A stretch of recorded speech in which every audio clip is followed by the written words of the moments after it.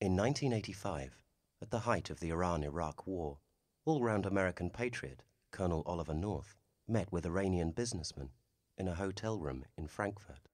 One of the things that we would like to do, okay, is we would like to become actively engaged in ending this war in such a way that it becomes very evident to everybody that the real problem in preventing peace in the region is Saddam Hussein, to take care of that.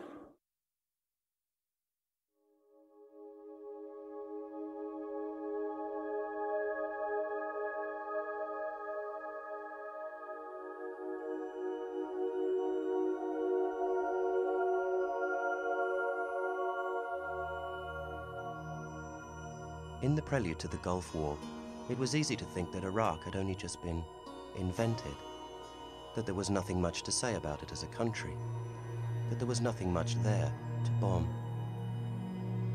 In fact, the history being arranged for us was played out in the land where all written history began. For whilst Europe was populated with Stone Age tribes, the people of Mesopotamia were living in towns, and those towns had libraries. The city of Babylon flourished for 2,000 years, changing hands as rival empires fought over trade routes, riches, land. It was here a legal code was written, that the strong might not oppress the weak. Twenty centuries before the birth of Christ, these laws had distinguished justice from revenge. Centuries later, another great city was built, capital of the Arab Empire and its new religion, Islam rhymed poetry, geometry, our number system, all come from Baghdad. Here, in Europe's Dark Age, Arab scholars calculated the circumference of the earth. Six centuries later, the church conceded it was not flat. The crusades launched against Islam did not reach Baghdad. By the time the Europeans came, the Christian nations had colonized the globe. Who, the Africans asked, has not seen the simpering grey men with their flags. In World War I, the Ottoman Empire was defeated and the Allies moved in. With a League of Nations mandate, the region was divided between French and British rule. Palestine was declared a Jewish homeland. A line in the sand made Kuwait a state, but Kurdish dreams of nationhood were less convenient. Having promised self-rule, Britain occupied Iraq and stayed there. Resistance was discouraged with bombs and mustard gas. When independence finally came in 1932, power was handed to a puppet king. Western companies had just begun to export Iraq's oil. Stretch across the map to Iraq. Another danger spot that Britain dealt with before it was too late. Iraq, 1941. Saddam Hussein is four, born into the cauldron of post-colonial rule. Iraq is still the prisoner of the West's will. After World War II, Europe needed American loans to rebuild. A World Bank was founded, and the League of Nations replaced. We, the people of the United Nations, determined to save succeeding generations from the scourge of war, which twice in our lifetime has brought untold sorrow to mankind. But the Security Council, controlled by the Allies, was deadlocked in superpower rivalries policy advisors set out Washington's goals. We have about 60% of the world's wealth, but only 6.3% of its population. Our real task in this position is to devise a pattern of relationships which will permit us to maintain this disparity. We should cease to talk about such vague and unreal objectives as human rights, the raising of living standards, and democratization.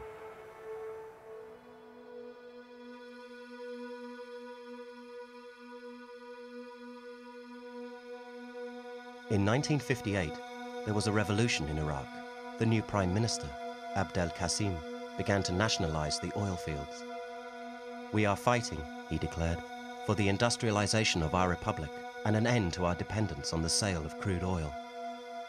Washington had other plans, deciding that the opposition Ba'ath Party was the political force of the future. The CIA met with activists, including Saddam Hussein. In the coup that followed, thousands were arrested tortured, and killed. Qasim himself suffered a terminal illness before a firing squad. But in 1972, the Ba'ath government nationalized Iraq's oil. OPEC was wresting control from the West. As prices rose, America threatened to invade the Gulf, prompting Kuwait and Saudi Arabia to mine their oil fields. But since a clash with the Soviets was inadvisable, more discreet methods of management were found. Working with the Shah of Iran, the CIA funneled weapons to Kurdish rebels in Iraq. Neither government wished the Kurds to win the war that followed. They merely hoped to ensure a level of hostilities high enough to sap the resources of Iraq. Baghdad conceded to Iranian border demands. The Shah closed the frontier to the rebels. American aid was withdrawn, and the Kurds forced to surrender. Covert actions, Kissinger explained. should not be confused with missionary work. Repression intensified as Iraq moved towards dictatorship, but Western companies vied for business as the Ba'ath Party began to spend.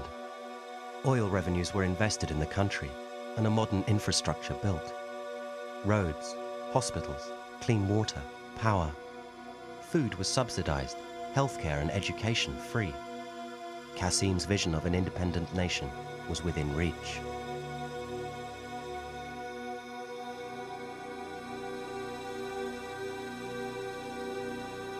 In 1977, Senator Henry Jackson's report to the Natural Resources Committee advised that The defense of the oil resources of the Gulf constitutes one of the most vital and enduring interests of the United States. Iran had provided a cover for American influence, but that was about to change. In 1979, the Shah was overthrown and the Ayatollah Khomeini swept to power in an Islamic revolution. Tensions flared as he denounced America and the new president of Iraq, Saddam Hussein. After months of border skirmishes, Iraq invaded. Years of bloody trench warfare followed. Iran attacked with human waves of soldiers, some as young as 14, and Iraq used chemical weapons. But despite an international arms ban, Britain, France, and both superpowers supplied military equipment to the Iraqi regime. Since Saddam Hussein was uh, aligned against uh, Ayatollah Khomeini and the Iranians, we gave him everything. A nervous Kuwait and Saudi Arabia bankrolled Iraq throughout the war, and the US bombed Iranian ships and oil platforms. But America was also sending arms to Iran. In 1988, the Iranians captured the Kurdish town of Halabja. Iraq counterattacked with nerve gas, and 5,000 people were killed. Exiled Kurds staged a hunger strike at the UN to draw attention to this atrocity, but no vital or enduring interest was shown. The following year, America sold Iraq raw materials for chemical weapons, and Britain sponsored an arms fair in Baghdad. The West, as Britain's defense minister acknowledged, had been Well served by Iran and Iraq fighting each other. By the time the war ended, 800,000 young men were dead, and Iraq, which had started the war with reserves of $30 billion, was now $80 billion in debt.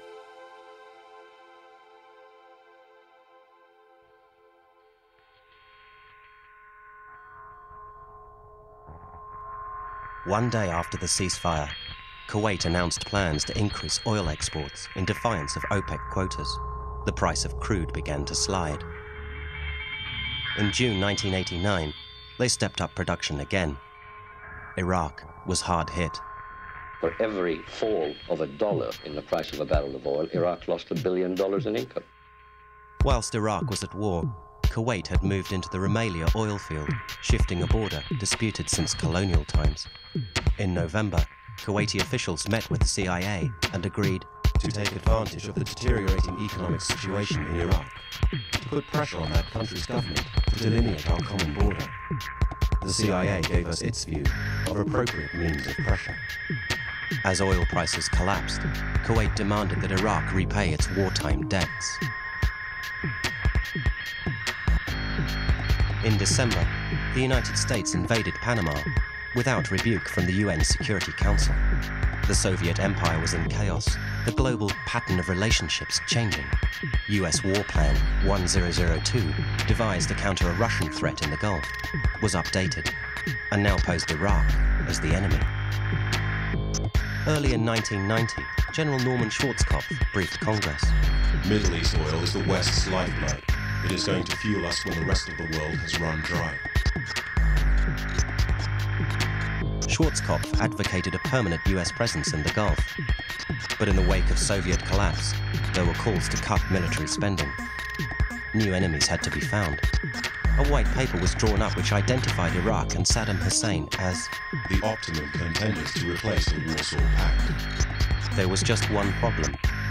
According to the US Army War College, Baghdad should not be expected to deliberately provoke military confrontations with anyone. US intelligence indicated that Iraq's desire was to reduce the army and repay their debts. But high unemployment made demobilization impossible. Inflation on the dinar was 40% and rising, and the price of oil continued to fall. In May 1990, Saddam Hussein protested at Kuwait's continuing overproduction. Were it possible, we would have endured, but I say that we have reached a point where we can no longer withstand pressure.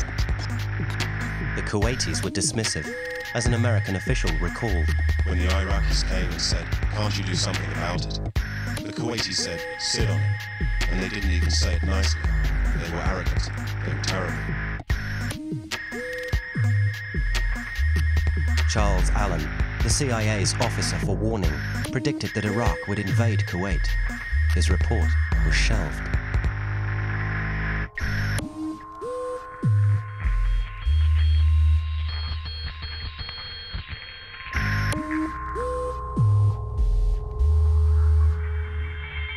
In a diplomatic offensive, Iraq sent envoys to Arab states until Kuwait agreed to a summit.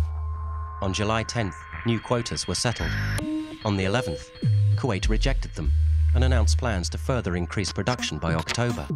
Saddam Hussein's patience was exhausted. I think he came to believe that Kuwait was overproducing oil not in its own interest, but because it was goaded into that by the United States in an effort to weaken Iraq. On July 15th, Iraq wrote to the Arab League and the UN Secretary General, listing their grievances. On the 17th, Saddam Hussein accused Kuwait of economic warfare. On the 18th, troops were sent to the border. Saddam Hussein summoned US Ambassador Glaspie and asked her to clarify the American position. I have direct instructions from the President to seek better relations with Iraq. Our opinion is you should have the opportunity to rebuild your country, but we have no opinion on Arab-Arab conflicts, like your border disagreement with Kuwait. As the crisis escalated, King Hussein of Jordan went to Kuwait to try and broker a compromise, to be told, We are not going to respond. If they don't like it, let them occupy our territory. We are going to bring in the Americans. As Iraqi forces moved to the front line, the Assistant Secretary of State was questioned in Congress. If Iraq, for example, charged across the border into Kuwait, is it correct to say that we do not have a treaty commitment which would oblige us to engage U.S. forces? That is correct. On the 2nd of August, Iraq invaded.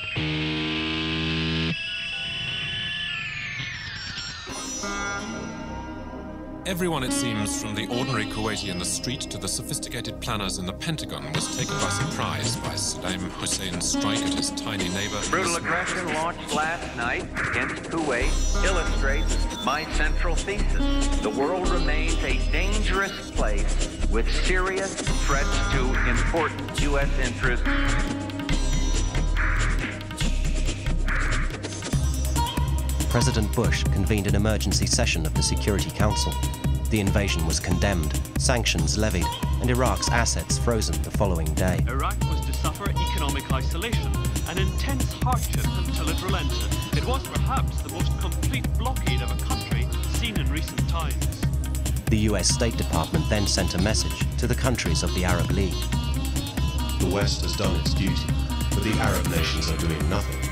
If they do not take a firm stand on the Kuwaiti affair, they can be sure that in the future they will no longer be able to count on America. With the world united, hopes were high that the Security Council would now be an effective force for peace.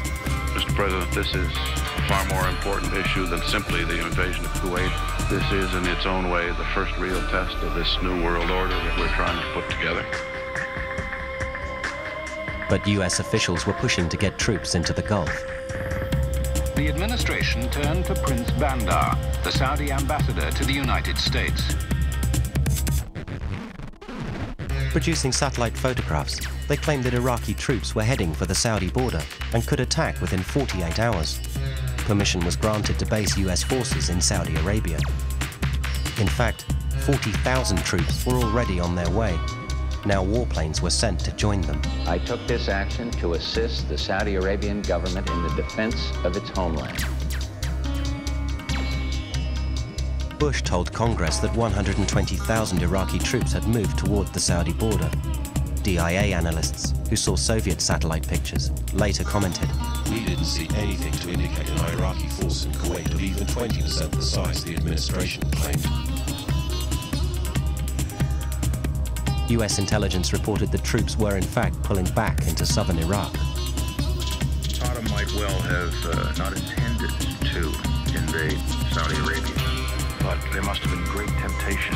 It was a period of great vulnerability unless you can get into Saudi Arabia and for our very little In mid-August, three Iraqi peace proposals were made. The third was welcomed in a statement by the Saudis, urging Kuwait to negotiate.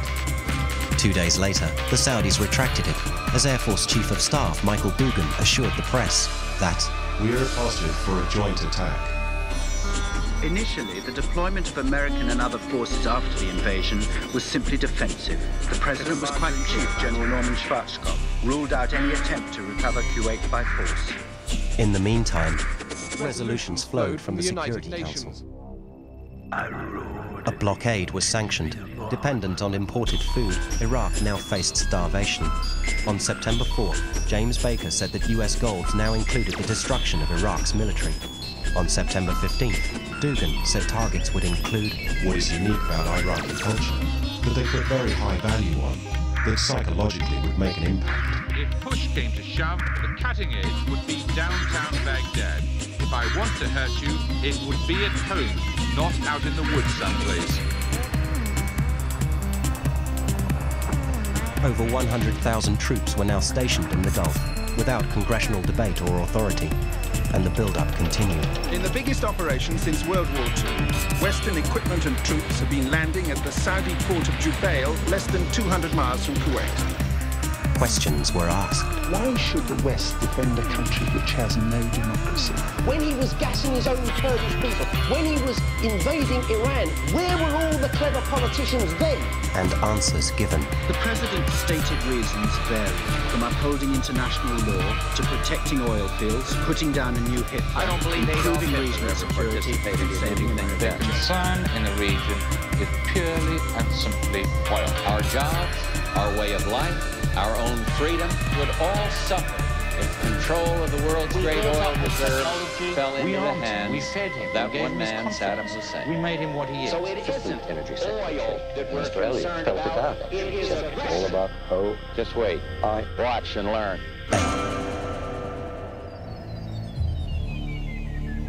While I was there, I saw the Iraqi soldiers come into the hospital with guns. They took the babies out of the incubators, took the incubators, and left the children to die on the cold floor. The president repeated the incubator story six times in his verbal war against Saddam. Had kids in incubators, and they were thrown out. 300 babies had died, the president said. But the girl who gave the testimony wasn't just a simple Kuwaiti escapee. In fact, just a few seats away was her father, Kuwait's ambassador to the United States and Canada. a fact known to the organizers of the hearing. Citizens for a Free Kuwait wanted to get public opinion behind a full-scale commitment, so they paid over $10 million to America's biggest public relations company, Hill and Knowlton, Inc. which is about what it is for a presidential campaign. Most ordinary Americans didn't care about Kuwait. So the efforts were, what is it that we can do to emotionally motivate people to support actions through the UN to drive them out? Adam's power will only grow. The next conflict will find him stronger still, perhaps in possession even of nuclear weapons. Many still opposed the war, and Congress had not voted. They, they were willing to have a vote as long as the outcome was more or less certain to be uh, supportive of the administration. Bush doubled the troops to 400,000. I know in my heart of hearts that what we are doing is right, right, right, right, right, right, right. Unable to count on the support of Congress, the administration turned to the United Nations. If we could get the Soviet Union to agree to the use of force, China would not veto. It was decided that I would visit with each and every government on the uh, Security Council. Debts were written off, loans granted to China, Russia, Israel, Iran, incentives totaling $23 billion. Resolution 678 authorized the use of all necessary means to restore international peace and security in the area. It is at this stage quite impossible to determine in detail precisely what that may mean. This is a very bad precedent for the Security Council. Who knows who's next in line?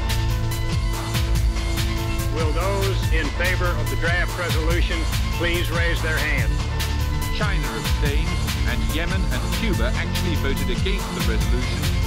Thank you. The draft resolution has been adopted as resolution 678. The next day, all U.S. aid to Yemen was cancelled. Secretary, thank you for bringing us very closely in contact with these realities. This meeting is adjourned.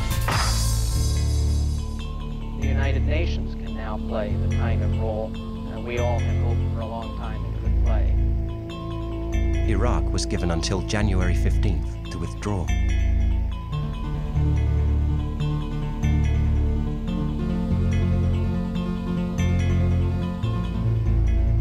I have today directed the Secretary of Defense to increase the size of U.S. forces to ensure that the coalition has an adequate offensive military option. Sent in the early days of the crisis to defend Saudi Arabia, it began to look as if they might be used to attack Iraq. Across the world, people demonstrated as the Allies readied for an assault. If there is an ideal time for war in the desert, it's before March, but that drastically shortens the time for sanctions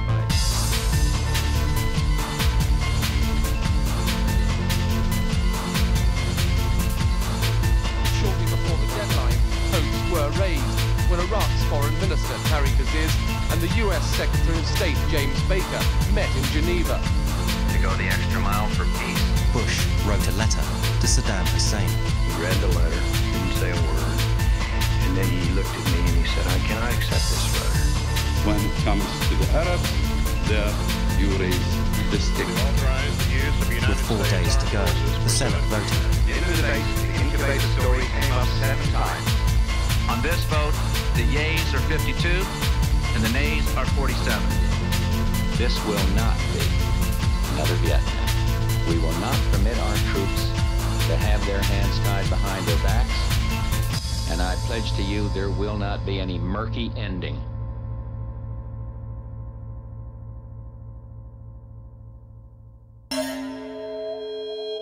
Thus with violence shall that great city Babylon be thrown down. We're like the bullies of the world And the voice of the harpers shall be heard no more at all in thee. Throwing the pistol at the sheepherder's feet. And the light of a candle shall shine no more at all in thee. Pick it up. This is CBS. This is PBS. This is ABC. This is the National Broadcasting Company. Good evening. The United States of America is at war.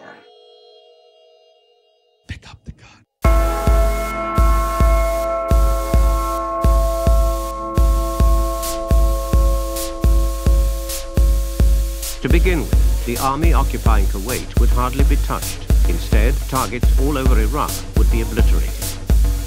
Imagine Iraq like a human body. What happens if you sever their spinal cord? They can't function, right?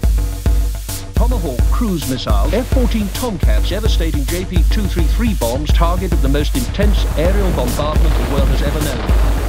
American B-52s flying high above the reach of Iraqi fire. Casualties on the Iraqi side will be extremely high. Saddam Hussein must be seen to be the loser. This was tremendous. Baghdad was lit up like a Christmas tree. 1,300 sorties so far. The first airstrikes were probing, testing the efficiency of Baghdad's defences. On Friday, the tactics changed to heavy saturation bombing. First 24 hours consisted of more attacks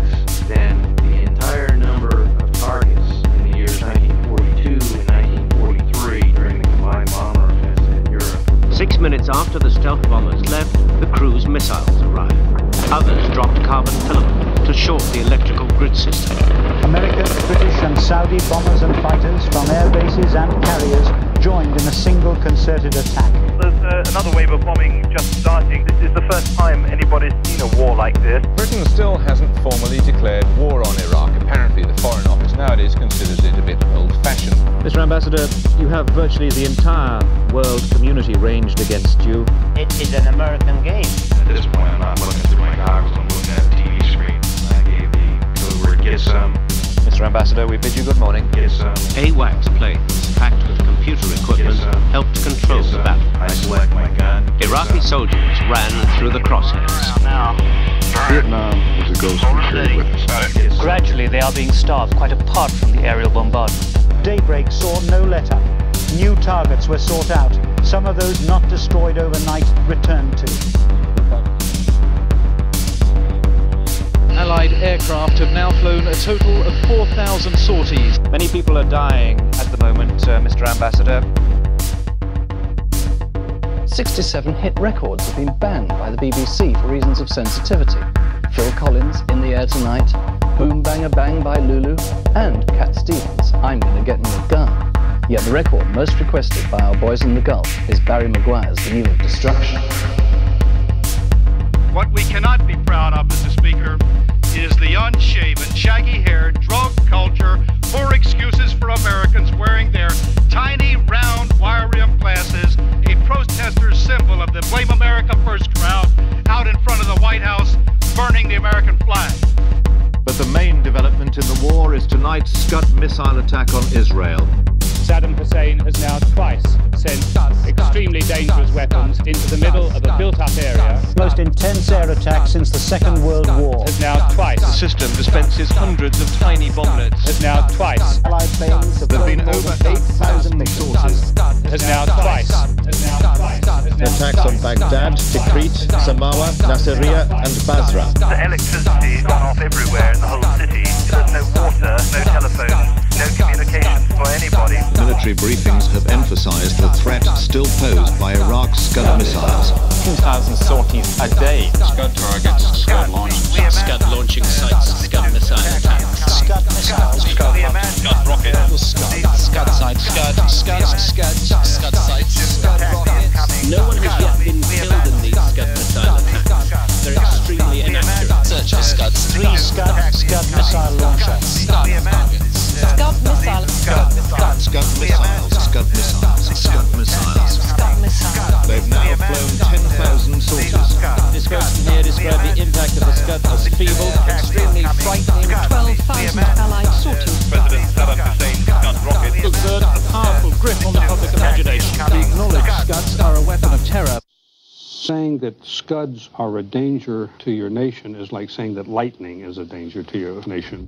Massive aerial bombardment. More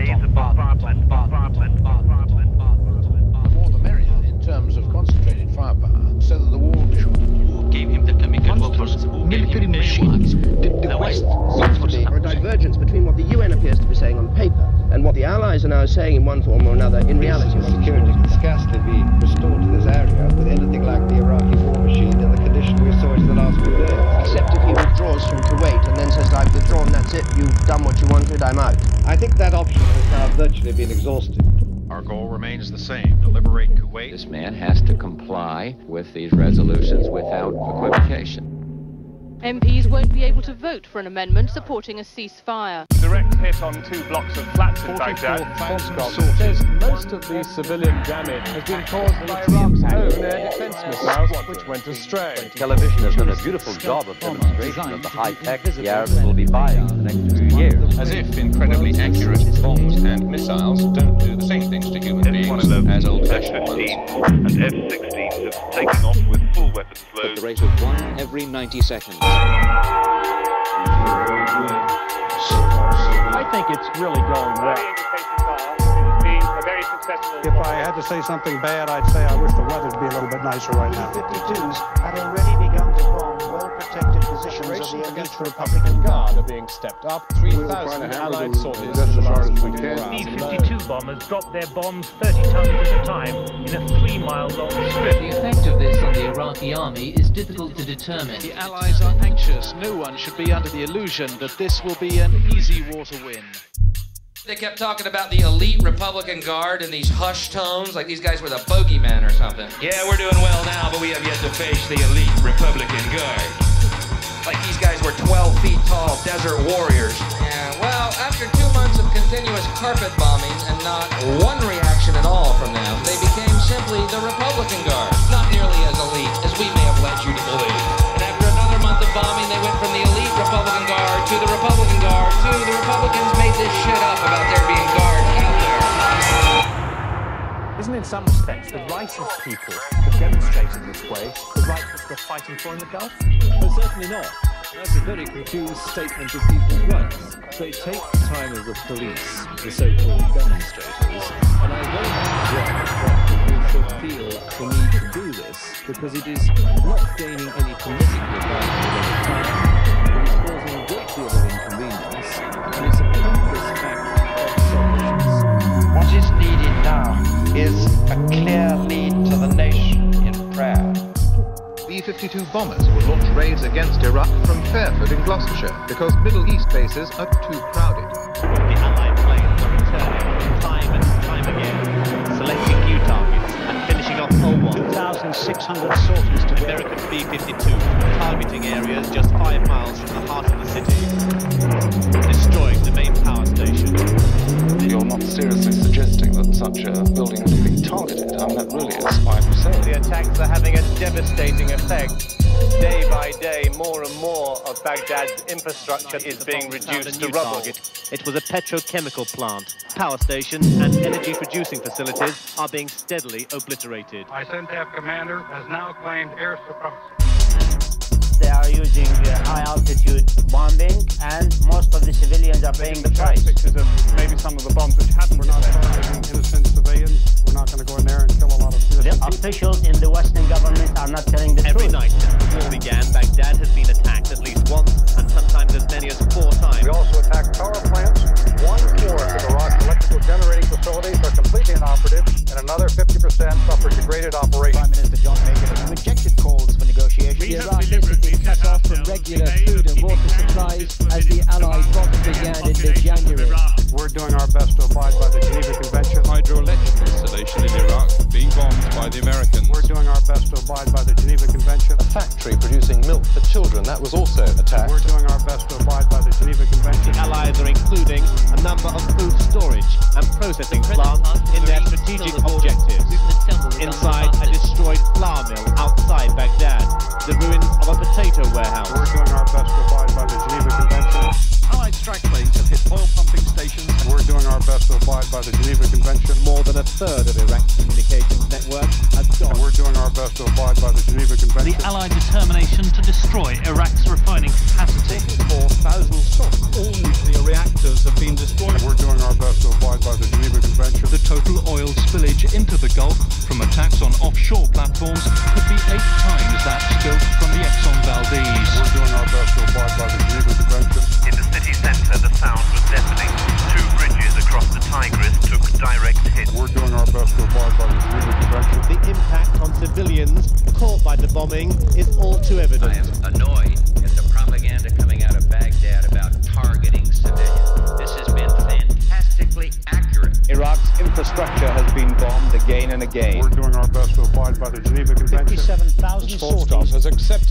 Allied bombing may be causing civilian casualties. Absolute precision is impossible to achieve. now move on Allied air sorties reaching 59,000. Without power and fuel, life-saving incubators are useless.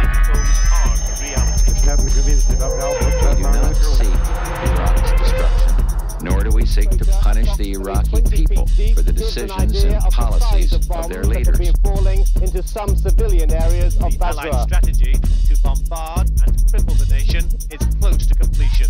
I'm now going to show you a picture of the luckiest man in Iraq. Keep your eye on the crosshairs. Right there. Right through the crosshairs.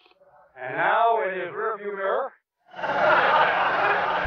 This is the only human being to have been shown by the Allies to the press. Government leaders around the world are following the course of the war on television. Where does the news come from? The poll system here is being manipulated and deliberately misused by the military authorities to stifle information. Operational facts have been omitted for reasons of military security. Subject to clearance by the military authorities. Correspondents who visit the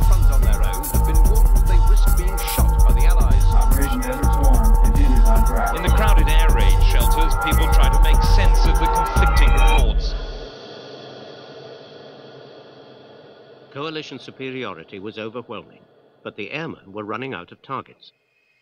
Late in uh, January, we came to the lower part of the list. It wasn't high priority. The bunker in the Al Firdos area of Baghdad. So this was a two-weapon salvo. This is not a video game.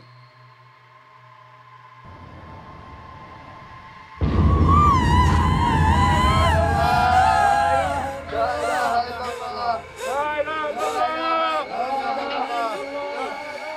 see where the blast and the fire had been, and they were pulling bodies out. The bunker was a public air raid shelter.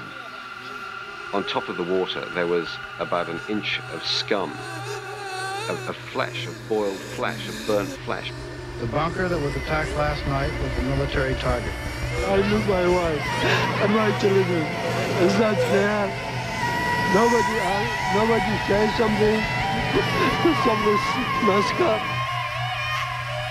When the missile fell on the upper floor, the doors were closed because of the pressure of the bombing. The people had nowhere to go out. Two cold water containers as well as two boilers exploded. As uh, in the upper floor people were burned to death, here in the lower floor people died in very high uh, degree of boiling water. Here you can see the water level which flooded the lower floor. On the walls you can see the remains of hair, of uh, human flesh and some parts of the body. Just imagine the feeling of the people who were boiled to death.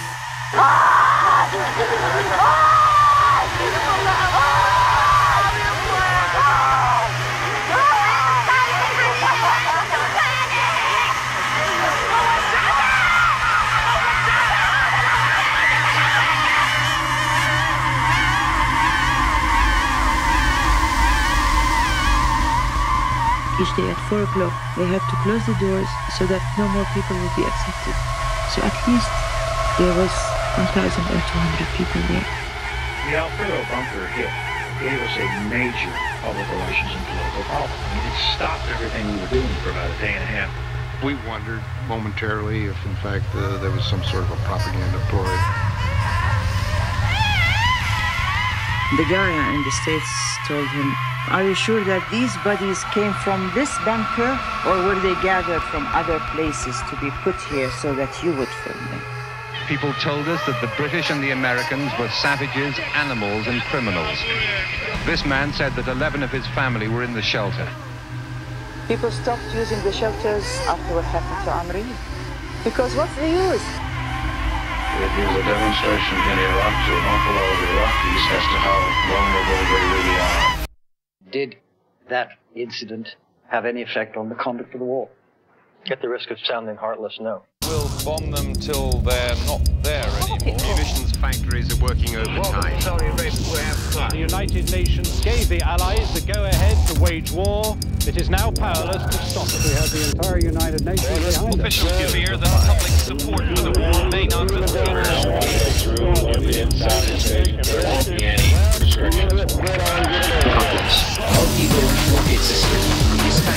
entire deadly payload. It would be really an error to try and start delivering hundreds of bombs and destroying everything within a 500 yard radius. We are not moving for the Iranian radio reported shockwaves from across the Iraqi border caused by Allied bombing armies and rockets. There was no fear of retaliation. There's a lot of stuff going in there and it looks pretty messy on the ground. You can see the missile piercing the roof and exploding against the back wall. but uh, there is at least 40-50 attacks in civil area with heavy bombs also and with small bombs they drop in thousands. In As soon thousands. as the planes land, 4,000 pound bombs are loaded by the ground crew. That would not want to be an Iraqi troop up there. I think my biggest danger up there today was running into another American aircraft. be planning warfare on a huge scale. More than 5,500 Brits got stressed. This is very early days. Anyone would be worried that things going this too much up. A convoy of lorries carrying flour was attacked by what looked like clusters. Living down Vietnam with a vengeance. The AWACS went first at the Airborne Control Center. Then came the strike force behind the Mother as the Airborne Tank 1,700 sorties yesterday. Well, they're not trying to fight us right now. Uh, they're trying to hide from us. Loading up with cluster bombs that explode above the ground, killing Iraqi troops in trench systems. Air attacks aimed at tankers on the highway. Far above, these vehicles may look to have found a small carrier gun This manufacturer's video shows how a pilot will choose individual flights. There's going to be massive air attacks from them in the weeks ahead. It is going to be unrelenting. The targeted.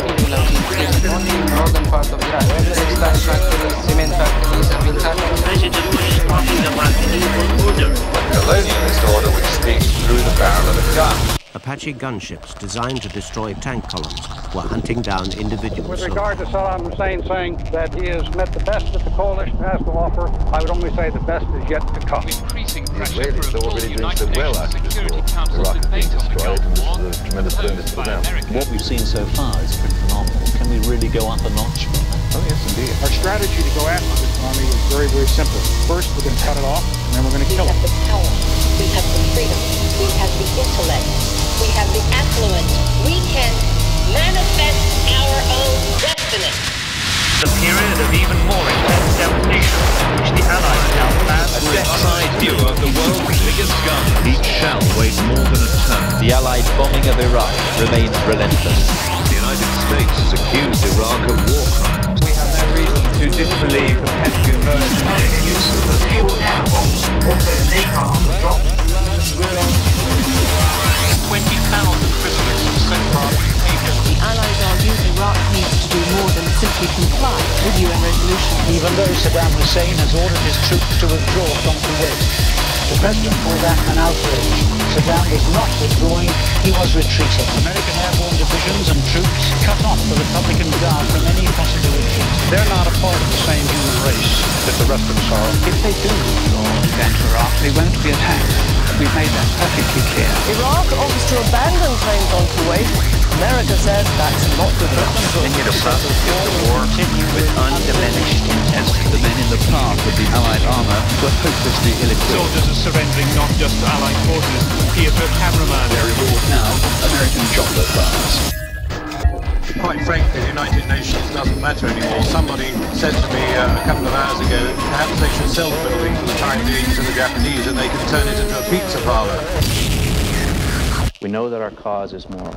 We know that our cause is right. Peace can only be established now by getting Saddam Hussein out of Kuwait. They needed to put some hate in their heart and go out and stop those son of a bitches from getting out of the way. We're not only willing to shoot and bomb people in the name of justice, but to help. Iraqi forces are reported to be concentrated on the main routes being used by Iraqi troops to withdraw. retreat, withdraw, retreat. Let's settle for running away. The bombing Iraqi troops have already suffered is minor compared to what they've got coming. We're going to concentrate in Iraq. Knock, knock. Coming at ya.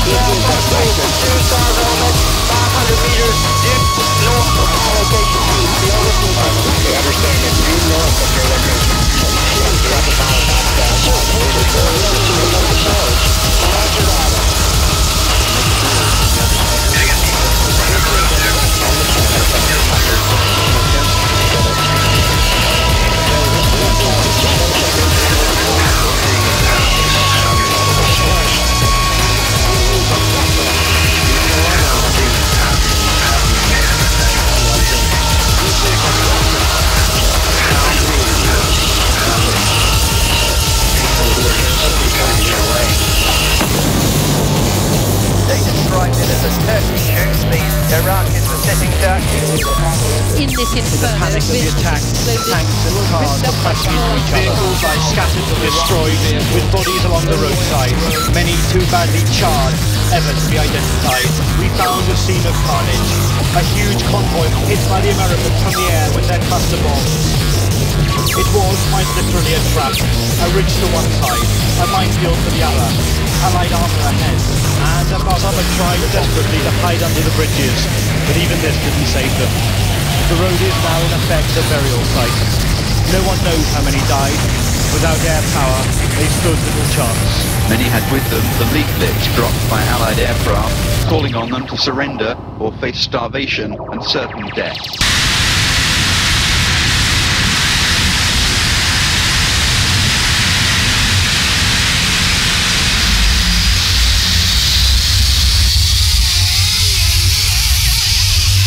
Okay, stop the tape, please. It's been a great victory. We needn't be shy about it.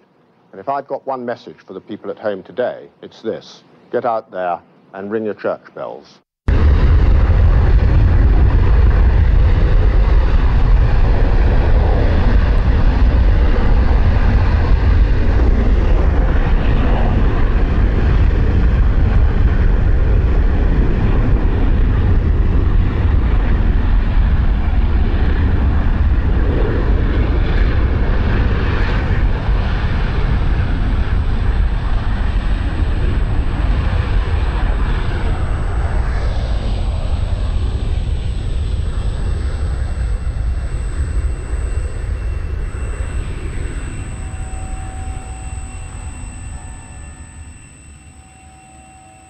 By God, we've kicked Vietnam syndrome once and for all.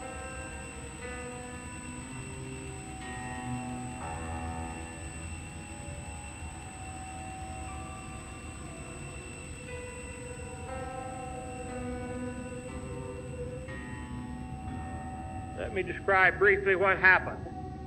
There were 114,000 separate aerial sorties in 42 days. That's one every 30 seconds. 88,000 tons of bombs were dropped. Only 7% of the bombs that fell upon Iraq were guided. 93% were free falling bombs that hit where chance, necessity, and no free will took them. There were 38 aircraft lost by the United States in this slaughter. That number is less than the number of accidental losses in war games where no live ammunition is even used. No enemy aircraft rose to meet them. We know that. And no enemy anti aircraft could reach them. And those who were there at the time know that.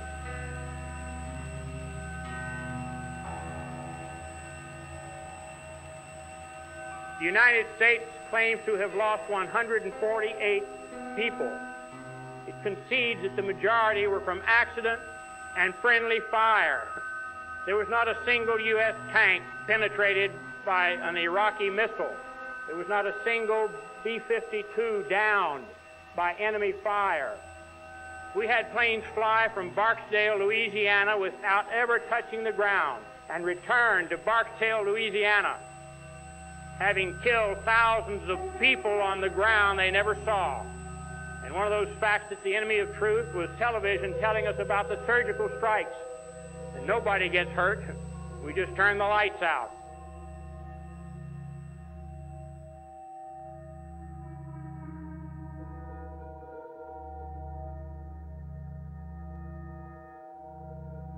We use fuel air explosives, and it incinerates people and it crushes people.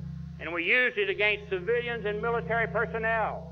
We had missiles fired from submarines in the eastern Mediterranean for sport, just to see how they worked. We had Tomahawk cruise missiles by the hundreds launched from the Persian Gulf, a couple of thousand miles from the places that they hit, totally out of range. We pulled a couple of old fashioned battleships up there and dumped 2.1 million pounds of hot metal on southern Iraq around Basra and killing people with impunity. You remember General Kelly announced before the beginning of the so-called ground war. But there was no ground war. Name one battle. There wasn't a battle. There was a slaughter. General Kelly said when the troops finally moved forward, there are not many of them left alive to fight. And finally we learned that bulldozers and tanks with plows on the front came in and buried thousands, dead, wounded, and living.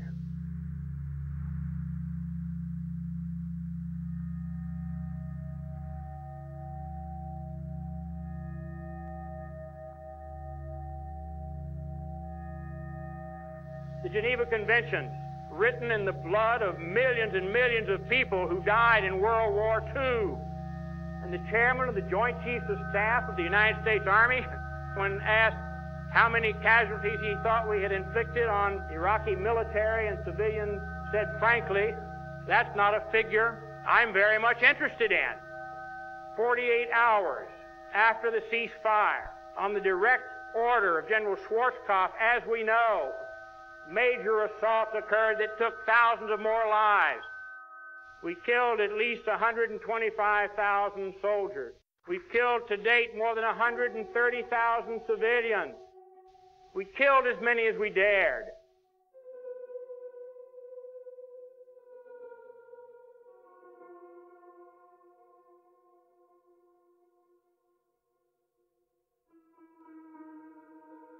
I believe that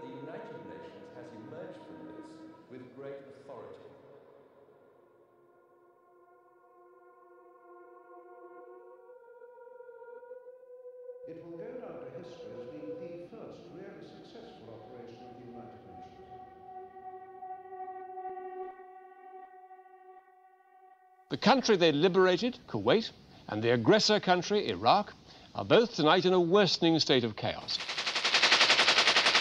This is the first sight of the uprising that's raging inside Iraq. The lightly armed rebels can demonstrate defiance of Saddam Hussein, but their leaders accept they have little chance of toppling him unless they can get outside help. I think the whole of sanctions should stay while Saddam Hussein is in power because the Iraqi people have to have an incentive to stand up to him and get him out. The opposition within the country, of course, listened to the West and rose against Saddam Hussein, only to be confronted by the United States in particular, helping Saddam Hussein against them. They actually stopped rebels from reaching arms depots. They flew over his helicopters as his helicopters attacked them. They gave his Republican Guard safe passage through their lines to attack the rebels. They did everything except join the fight on his side. But if you're going to sustain cheap and plentiful supplies of oil, you've got to have a regime there to ensure that you can provide it.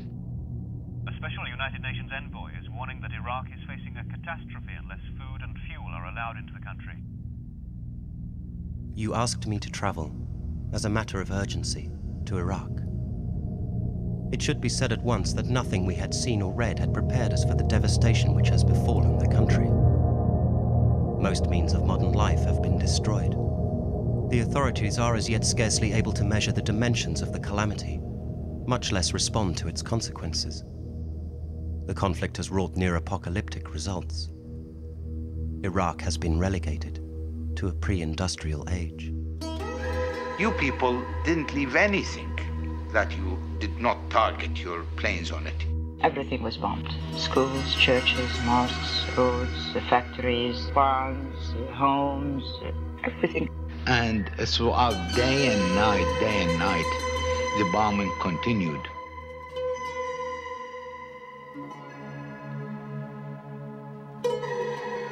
Cats were frightened, and their noises with the planes, it was something very disturbing. It brought everything ugly to your imagination. And I think this is the real war.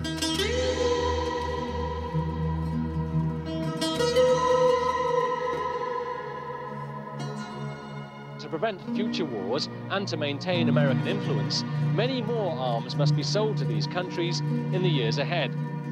When you're dealing with friends and allies, if you provide the equipment, you have a uh, string on it, which means that you probably can contaminate their thinking with your values.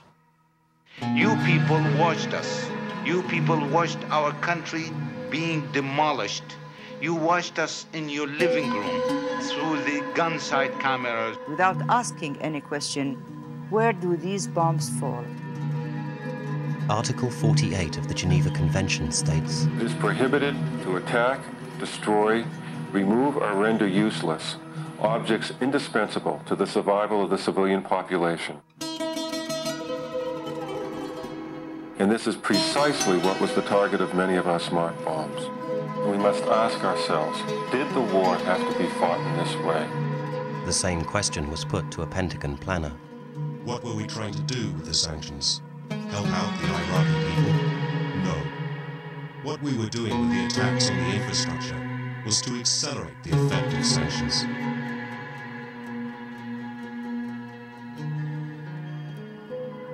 In April, new Security Council resolutions were tabled. A UN Special Commission, UNSCOM, was given unprecedented power to seek and destroy Iraq's weapons capability. Sanctions levied to force a withdrawal from Kuwait would now be used to ensure Iraq's compliance with UNSCOM. Sanctions are now, in these new circumstances, a vital lever in making sure that Iraq complies with her international obligations. The time has come to try to change the destructive pattern of military competition and proliferation in this region and to reduce arms flow. But even as James Baker was speaking, elsewhere in the administration, very different plans were being laid. The post war arms deal to the Gulf states, worth between 50 and 150 billion dollars. We will also still be controlling the economic sanctions, and in particularly preventing the export of oil. In other words, Iraq cannot recover from this war with that situation.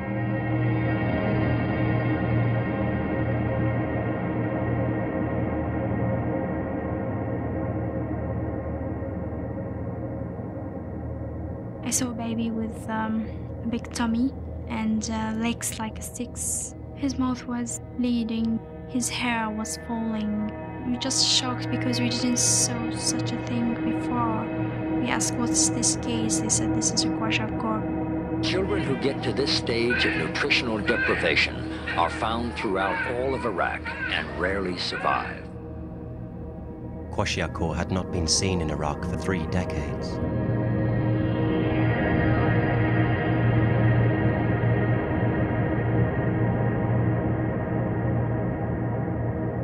Security Council removed foodstuffs from the list of embargoed items and established a sanctions committee to screen goods coming into Iraq. Food and medicine were now officially exempt, but... How do you buy the food? How do you pay for it? If they freeze your assets and they don't permit you to export, where do you get the money to buy it? That's a fallacy. The West is playing on words.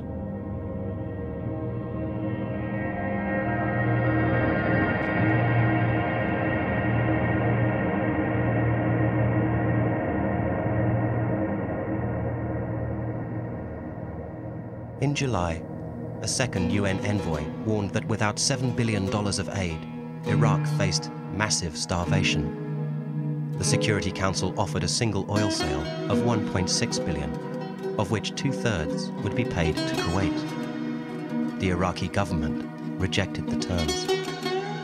It was, a Bush official said, a good way to maintain the bulk of sanctions and not be on the wrong side of a potentially emotive issue.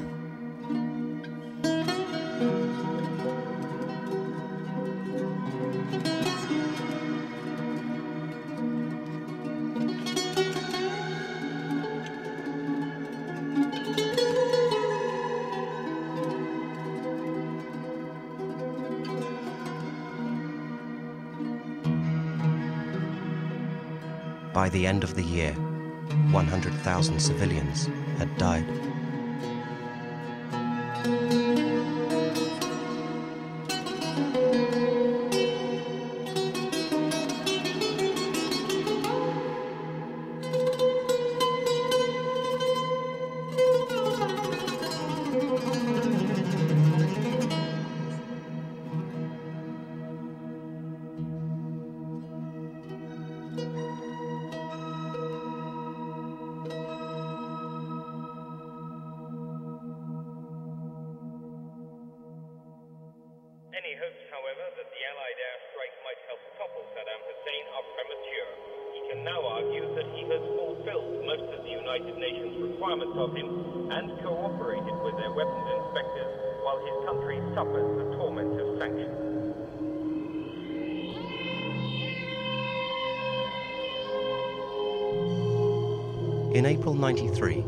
Showdown with UNSCOM led to new Allied bombing.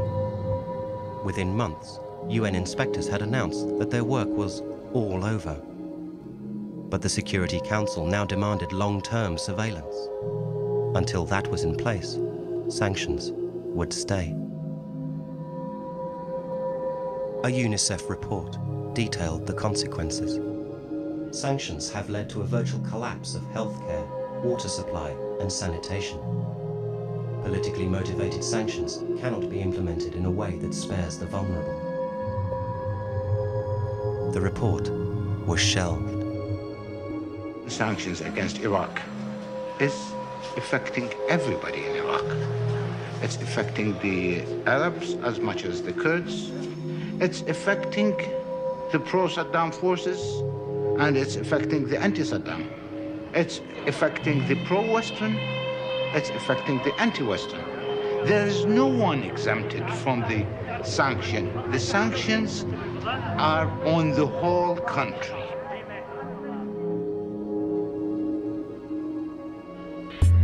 The government ration now supplied only two-thirds of energy requirements and lacked vital nutrients.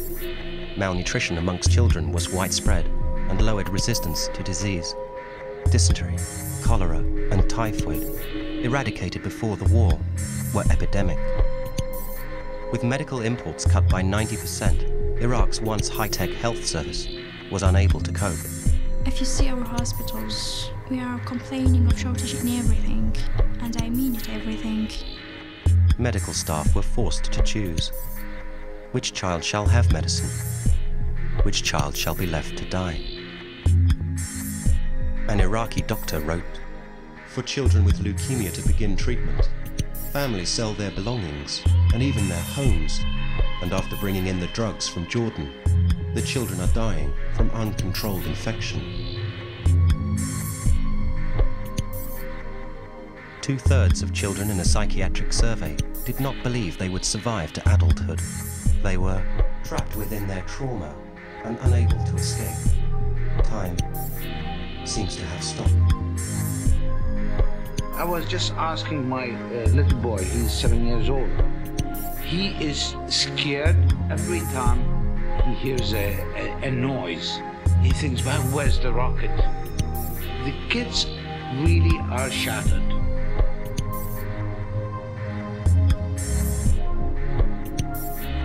Children from poorer families were forced out of school to work or to beg. What will they do in the future if a child of 13 or 14 years old leaves school now? What will become of him? In July, the United Nations World Food Programme warned that 20 million Iraqis were now simply engaged in a struggle for survival. Yet the Sanctions Committee banned essential items on the grounds that they were dual use. Wheelchairs, because aluminium is used in aircraft wings. Angina tablets, because they contain nitroglycerin. Midwifery kits, because scissors might be melted down to make bullets. For lack of drugs, women bled to death after childbirth. Caesarean sections had to be endured without anesthetic. Many babies were born premature and underweight. Their mothers, too malnourished to breastfeed, had nothing to give them but sugar and tea. In September 1994, the government was forced to halve the ration as food stocks failed. 400,000 children were estimated to have died since the war, and future generations had been condemned to pay the highest price of all the integrity of their DNA. For the very first time in that war, the British and American military used a new and devastating weapon. It has left in its wake, on and around the battlefields, radioactive and highly toxic dust that lasts for over four billion years. Depleted uranium rounds fired by the Allies had left over 300 tons of dust blowing across the sands with each new desert storm. Into the water, into the food chain. The rise in cancer was unprecedented. But is the position even worse than first feared? That the weapons we used may also be responsible for a new wave of birth defects. Midwives have been coping with birth deformities they've never seen before.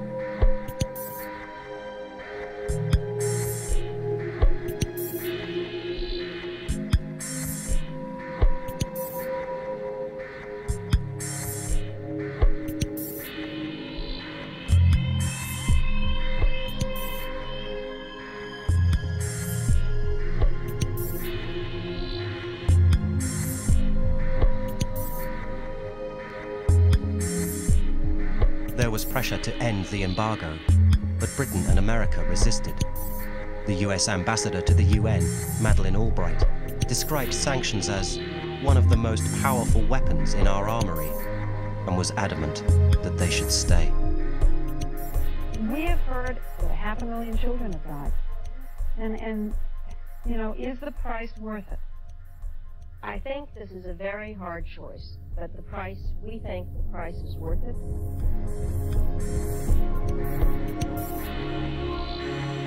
The US proposed the Oil for Food program.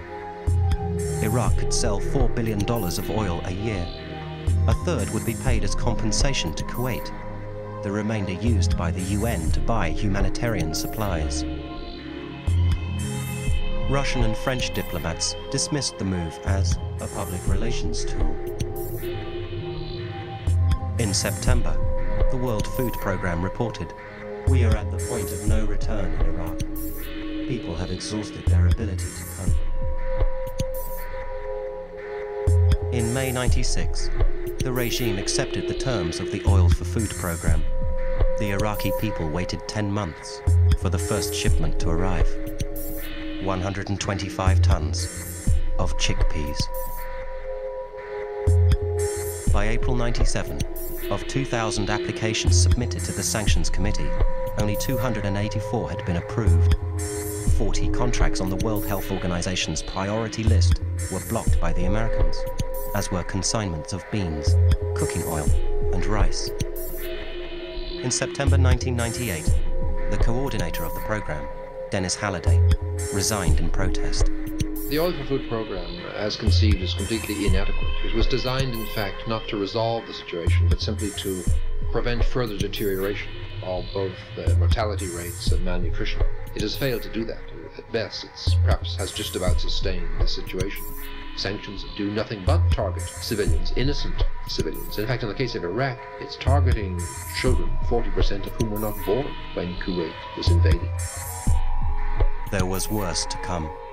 After seven years of inspections, relations between the Iraqi administration and UNSCOM broke down. This is not a UN commission. It has been turned into an American agency with the support of the British. British and American planes readied to attack as the inspectors were pulled out of Baghdad. On December the 18th, Prime Minister Tony Blair stood in front of his Christmas tree to announce that the bombing had begun. What do you want Iraqi children to think? How are they supposed to believe that friendship is possible with the world? Animals in the West are treated much better than him. The other day there was a child who said to me, I wish I was born a dog in America.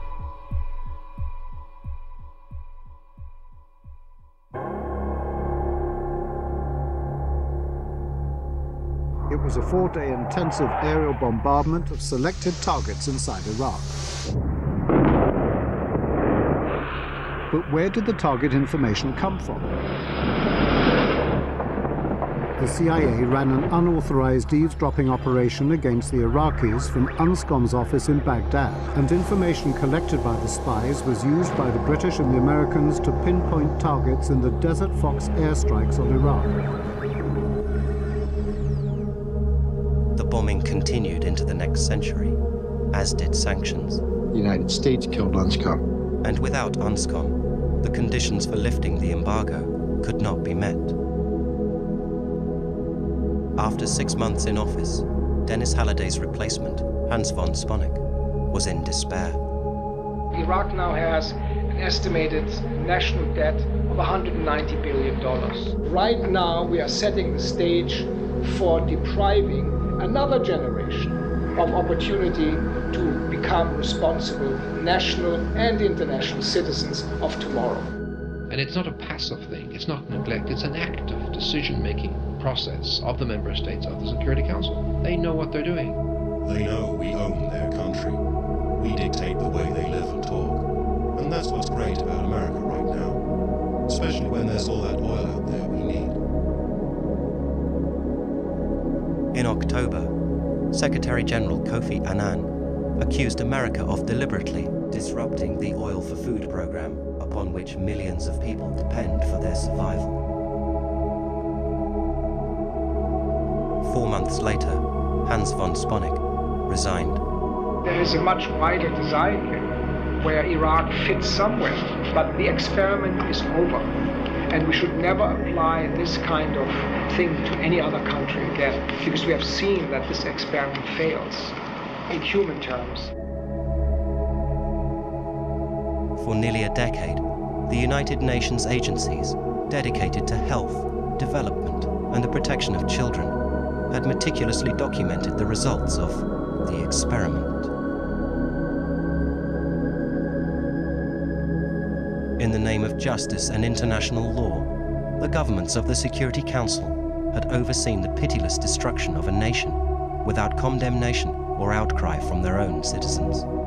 Here you are killing hundreds and hundreds of thousands, and nobody cares. It was as if the world has built a Berlin Wall of silence all around Iraq.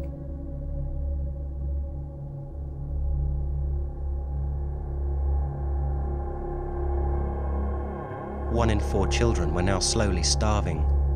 Physically and intellectually stunted, these children will never recover. Why? So that the multinationals could get our oil. We would have sold our oil anyway. It's useless to anybody to be kept in the land. Others have already paid the price in full. There's no other way to describe the death of one, possibly 1.5 million people, to describe the death of thousands of kids each month, to describe the death of probably 600,000 children since 1990. What else is that but genocide? It's the war.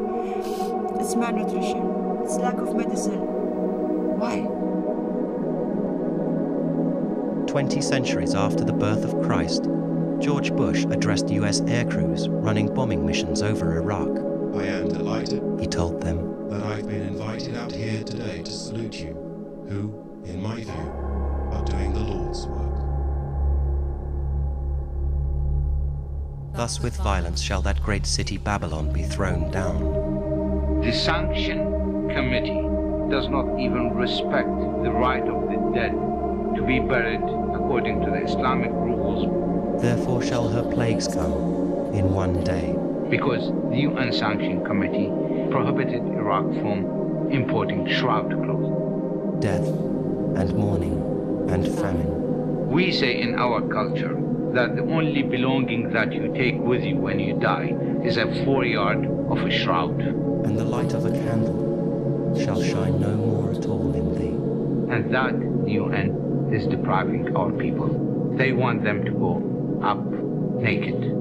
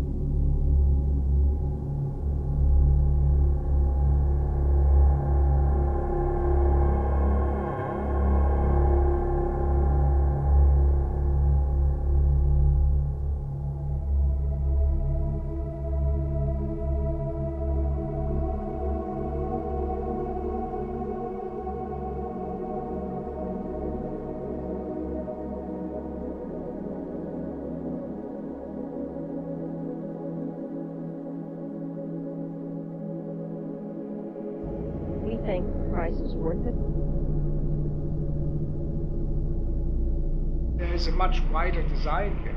We think the price is worth it. What else is that but genocide? We think the price is worth it. Depriving another generation. We think the price is worth it. And that's what's great about America right now. We think the price is worth it. They know what they're doing. Doing the Lord's work. We think the price is worth it. And nobody cares. Why? We think the price is worth it. There is a much wider design here. We think the price is worth it. Depriving another generation. We think the price is worth it. What else is that but genocide? We think the price is worth it. Why? They know what they're doing. We think the price is worth it. Doing the Lord's work. We think the price is worth it. Why? We think the price is worth it. And nobody cares. We think the price is worth it. Why? We think the price is worth it. Why?